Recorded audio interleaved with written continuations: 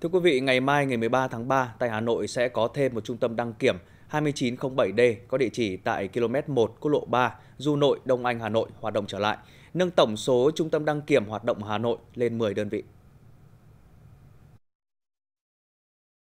Cục Đăng kiểm Việt Nam cho biết ngày 13 tháng 3 tại Hà Nội sẽ có thêm một trung tâm đăng kiểm 2907D, địa chỉ tại km số 1, quốc lộ 3, Du Nội, Đông Anh, Hà Nội hoạt động trở lại, nâng tổng số trung tâm đăng kiểm hoạt động ở Hà Nội lên 10 đơn vị. Trung tâm đăng kiểm 2907D sẽ vận hành một dây chuyền kiểm định với 3 đăng kiểm viên, dự kiến mỗi ngày kiểm định được từ 60 đến 70 xe. Ngoài ra, Cục Đăng kiểm cũng cho biết trong ngày hôm nay 12 tháng 3, cơ quan công an sẽ tiếp tục bàn giao cơ sở vật chất, hệ thống phần mềm dữ liệu kiểm định của Trung tâm đăng kiểm 2902V cho đơn vị để thực hiện các bước hiệu chuẩn lại nhằm đưa trung tâm này vào hoạt động trong tuần tới, cùng một số trung tâm đăng kiểm khác. Dự kiến trong tuần sau sẽ có 15 trung tâm đăng kiểm hoạt động tại Hà Nội.